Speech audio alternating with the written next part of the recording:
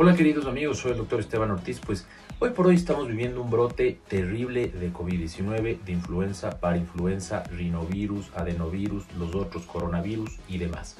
¿Cómo podemos nosotros identificar como padres cuál de estos microorganismos es el culpable?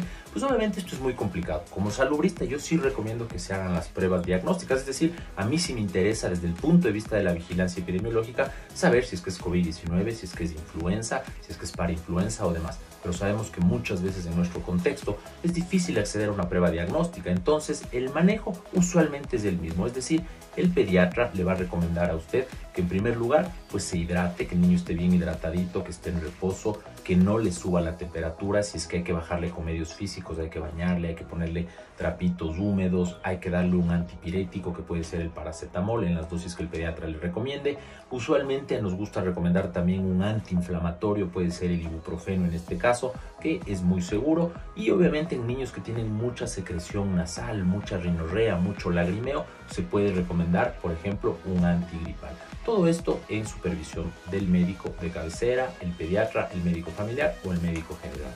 ¿Cómo diferenciamos de los cuadros de flu, de influenza, de COVID, de resfriado común, de rinovirus o demás? Es un poco complicado y como les he dicho, el manejo es el mismo. Cuando un niño, por ejemplo, viene a la consulta y dice, mire, mi hijo siempre ha tenido alergia al gato, al polvo, al perro y está lagrimeando los ojitos están un poquito rojos, le sale mucho moquito por la nariz y parecería ser que cuando está con el perro, con el gato se hace más severo, pues eso es alergia claramente.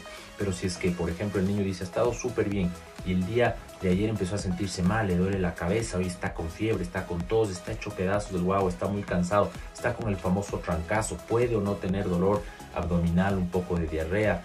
En este caso yo podría sospechar de tal vez la influenza, es un cuadro más severo, más grave. ¿Qué pasa si es que nosotros sospechamos de COVID? Usualmente los síntomas son igual muy inespecíficos, malestar general, eh, sensación de, de rinorrea, lagrimeo en los ojos, un poco de tos y malestar general. Pero es difícil diferenciar de las otras enfermedades, a menos que el niño, por ejemplo, pierda el gusto, pierda el olfato. En ese sentido, yo sí me voy directamente por el COVID-19 y también pensar que ha tenido algún contacto con COVID-19. Si es que el tío estuvo con COVID-19 y estuvo con el guagua, pues seguramente es COVID. Ahora, ¿cómo nosotros, eh, por ejemplo, determinamos si es un simple resfriado común? Pues usualmente es de las vías respiratorias altas, no tiene tanta tos, tiene mucho más estornudo, más rinorrea, más lagrimeo y obviamente menos sensación de malestar general. Usualmente no tiene fiebre. Es decir, hay una gran cantidad de síntomas y signos que se contraponen uno con el otro y es muy difícil el diagnóstico. Desde el manejo, pues usualmente es el mismo. Sin embargo, desde el punto de vista epidemiológico, la recomendación es igual. Quédese en casa, no les envíe al colegio a los niños ni a las escuelas, use mascarilla y lávese las manos.